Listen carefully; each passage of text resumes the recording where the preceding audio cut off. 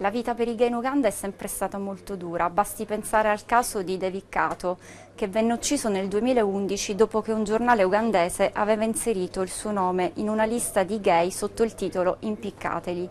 In quella lista c'era anche il nome di Kashana Baghesera, che da allora dorme ogni giorno in una casa diversa perché ha paura di, di, ritorsioni per il suo impegno contro le discriminazioni in Uganda.